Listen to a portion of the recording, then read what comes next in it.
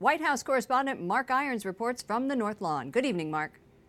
Good evening, Lauren. President Trump and Kim Jong un shared a friendly dinner and private conversation today. The president calling it a very good dialogue, the world waiting to see if their relationship can pave the way to peace. President Trump and Chairman Kim Jong un meet again. The cameras capturing the stage set in Vietnam with the possibility to build on their historic first meeting in Singapore.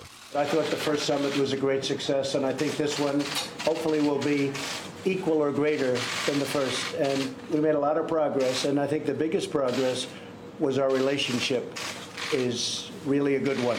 The North Korean leader tracking the time since they last met.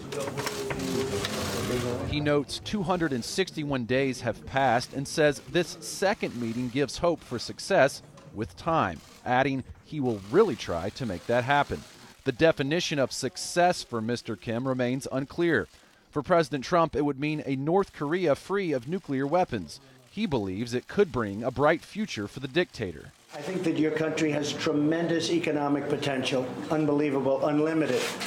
And I think that you will have a tremendous future with your country. But reports continue to show North Korea is growing its nuclear arsenal, and U.S. intelligence officials have testified the country plans to keep its weapons of mass destruction. And is unlikely to completely give up its nuclear weapons and production capabilities.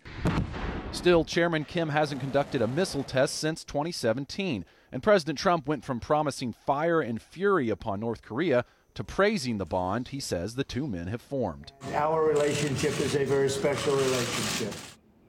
Tomorrow is really the big day for this summit. President Trump has a number of meetings with Chairman Kim, and then they are scheduled to sign a joint agreement. But the real question what will be in it?